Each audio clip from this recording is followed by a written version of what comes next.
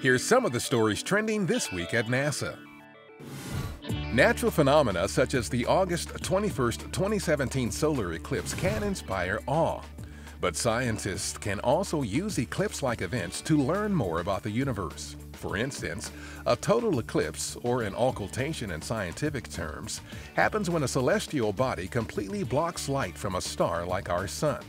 This type of event can help astronomers learn more about an object's atmosphere, including whether it might be surrounded by rings or other planetary matter.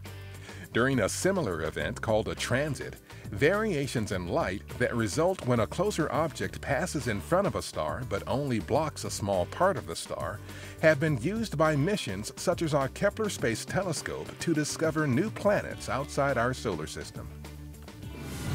On August 14th, SpaceX launched an unpiloted Dragon cargo spacecraft to the International Space Station from Launch Complex 39A at the Kennedy Space Center in Florida. Two days later, the Dragon arrived at the station with more than 6,400 pounds of cargo, supplies, and research, including experiments to better understand Parkinson's disease and the origin of cosmic rays. This is SpaceX's 12th commercial resupply mission to the station. On August 18th, we launched our third generation tracking and data relay satellite known as TDRS-M from Cape Canaveral Air Force Station in Florida. TDRS-M will join the fleet of satellites that provides critical high data rate communications to a host of spacecraft, including the International Space Station and its resupply vehicles, the Hubble Space Telescope, and many of NASA's Earth-observing spacecraft.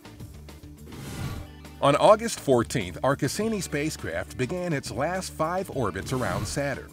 The spacecraft is in the grand finale phase of its mission and has embarked on a set of ultra-close passes that will bring it to between 1,010 and 1,060 miles above Saturn's cloud tops.